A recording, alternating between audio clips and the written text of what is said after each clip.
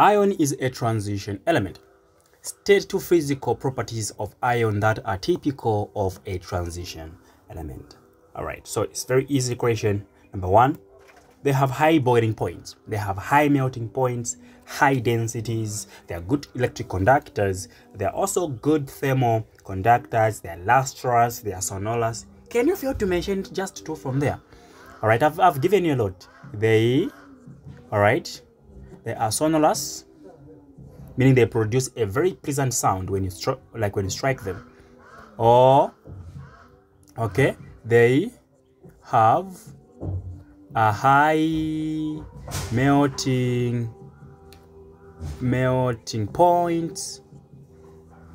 Also, have got high boiling points.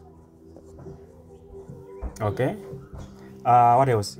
Uh, they are good conductors of electricity good conductors of electricity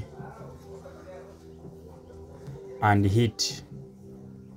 Also good conductors okay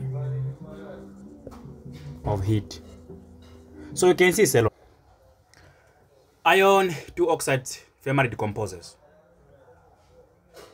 To form iron 3 oxide sulfur dioxide and sulfur trioxide. You can see the equation explain how the equation shows that this reaction involves oxidation. Number one it is the you know oxygen is being gained. And the other one is that remember that oxidation also deals with the loss of electrons. You can see that this is ion 2 meaning this is ion 2 this is ion 3 this is ion 3 you can see that this one has got a smaller charge than that one meaning electrons are being lost.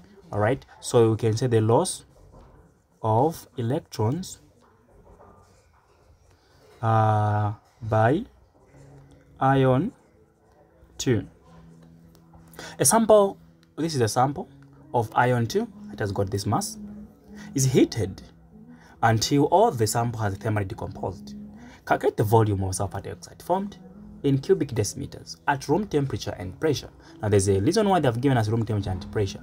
Why? Because volume here at room temperature and pressure standard volume is actually 24 cubic decimeters. Is what we call the molar volume this is our molar volume.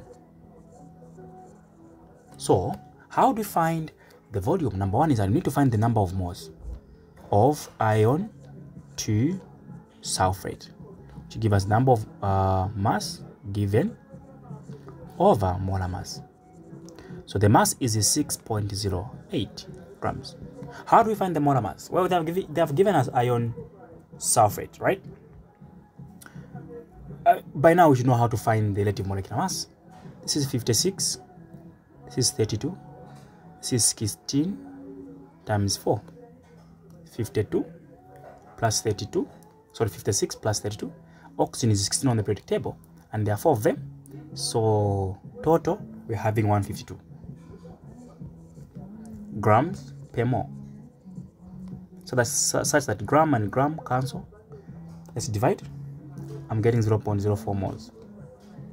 These are the moles of sulfur, um, what? Iron sulfate. But we are interested in this guy here, sulfur dioxide. So we go back to mole ratio. You can see that sulfur dioxide and iron sulfate, they are in the ratio of 2 to 1. This is 1 there. So now let's come to mole ratio. I'll write it here. Mole ratio. Mole ratio of who and who? Of iron sulfate and sulfur dioxide. It is a 2 to 1, but the number of moles that we just found here for iron to sulfate is 0.04. Here we don't know. So crossing multiply me gives us 2x is equal to 0.04. You divide by 2 there. So x, which is just the number of moles for sulfur dioxide, will be 0.02 moles.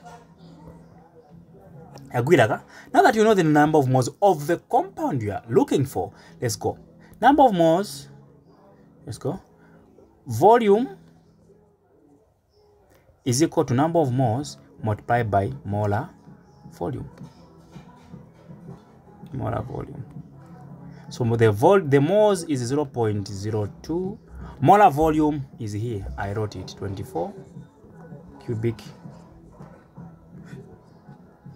I'm getting 0.4 0.48 cubic decimeters. Just like that. You're welcome.